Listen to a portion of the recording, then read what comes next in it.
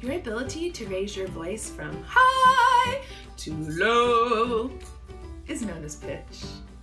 Having a range of different pitches when speaking creates vocal variety, a quality of speakers who are seen as having an active and lively mind. Changes in pitch can help you express your enthusiasm and passion for the topic that you're speaking about. On the other hand, a monotone pitch will be the dead giveaway that you are boring and uninspired. The best part about changing your inflection to create vocal variety is it'll keep your audience from drifting off into that mindless trance state.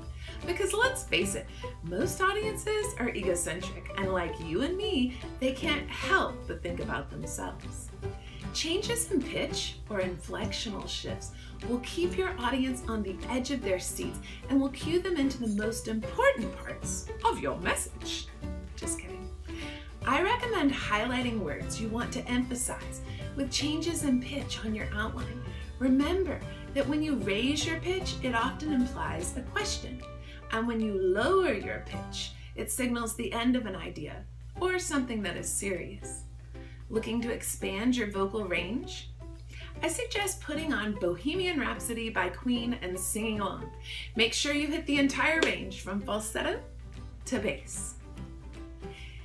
If you're looking for more bright ideas on public speaking, subscribe to my channel. I'm Dr. Sunny.